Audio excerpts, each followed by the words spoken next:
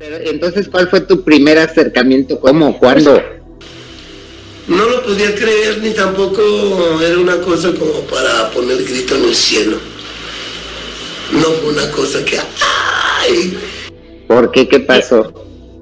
Yo siento como que antes de que acabe el año alguien va a morir y que nos martirizamos y que esto y que el otro, que ni que fue. Tenemos lo nuestro, tenemos lo nuestro, tenemos nuestro sufrimiento. ¿En serio?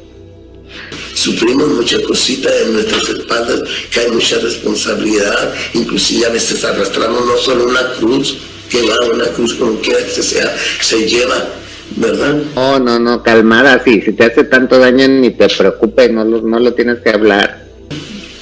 Pero arrastramos a veces el mundo, el peso, el peso del mundo. Jorge Carvajal entrevista a Juan Gabriel este año 2022. No mentía, sí sigue con vida.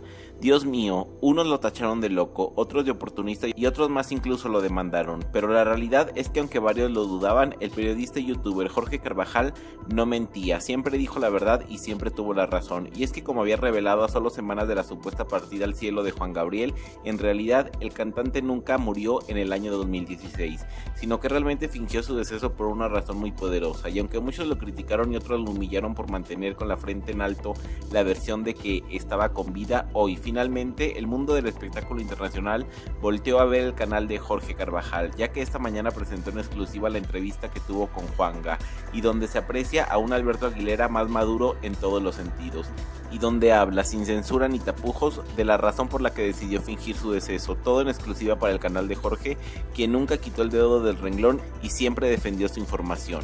De forma impactante, hilarante e impresionante fue mediante los canales Productora 69 en Shock y Los Frijoles de Gigi, donde Jorge se enlazó vía Zoom con Juan Gabriel, quien se encuentra en una playa con ubicación desconocida y donde realizó una entrevista virtual con Jorge este año 2022, para demostrar que sigue aquí y el youtuber siempre tuvo la razón.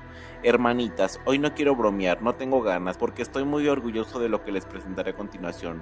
Ser periodista no es fácil, hermanitas. Algunas veces no puedes dar la nota, otras veces no encuentras la información y sí, otras muchas veces te equivocas, pero no saben el orgullo que se siente cuando una información que defendiste y que sabías que era tuya resulta ser real y puedes callarle al mundo las burlas y dudas que tuvieron sobre ti, hermanitas. Como saben, yo siempre dije que sabía que Juan Gabriel sí estaba vivo. Presenté pruebas, evidencias y nadie me creyó cuando dije que hablaba con él, pero hoy verán la prueba irrefutable de que siempre tuve la razón. Pero no porque yo me encaprichara en sacar la verdad, sino porque el propio involucrado ha decidido por fin dar la cara y explicar lo sucedido. Hermanitas, agradezco a Juan Gabriel el elegir este espacio para reaparecer y confirmar que está vivo. No tengo palabras pese a las diferencias y la montaña rusa de emociones que han sido todos estos años.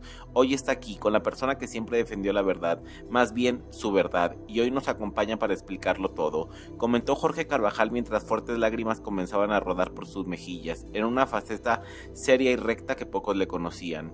Jorge, mi amigo, mi confidente, tal vez mi único amigo en todos estos años escondido. Cuántas cosas privadas no hemos hablado, cuántos secretos no te he contado y de cuántas aventuras no nos hemos vuelto cómplices. Un ser humano, incluso el más famoso y talentoso, necesita siempre de otras personas para sentirse necesita siempre de otras personas para sentirse acompañado. Si no, no hay sentido a la vida. Y te puedo decir que en estos seis años tú has sido la persona que más me ha dado fortaleza, que me dio ánimos para que llegara este día y que de forma honrada siempre defendió la verdad. Tuvimos diferencias, sí, y muchas, Jorgito, pero al final tú nunca te rendiste para confesar la verdad y sobre todo respetar el momento en que yo quisiera reaparecer. No solo eres un excelente periodista, eres un excelente y recto ser humano y por eso no había nadie que tuviera la exclusiva que hoy te doy, que es reaparecer ante tu cámara. Porque sé que todos los medios replicarán esta información, aunque de todos tú fuiste el único que siempre supo la verdad y mantuvo el secreto. Y eso te lo agradeceré siempre, no como Juan Gabriel, sino como Alberto Aguilera, porque en parte gracias a ti he podido sobrevivir todos estos años en el anonimato. Comentó Juanga en la entrevista que ya supera las 300 millones de visitas.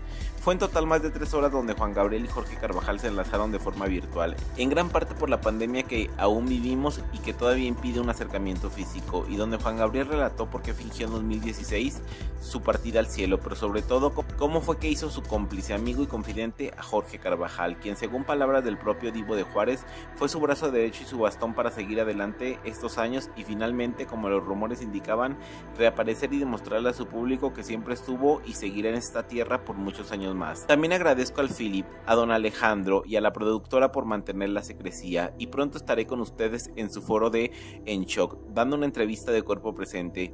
Saludos a todas, todos y todes, hermanitas, con salsa, puntualizó Juan Gabriel al final de la entrevista.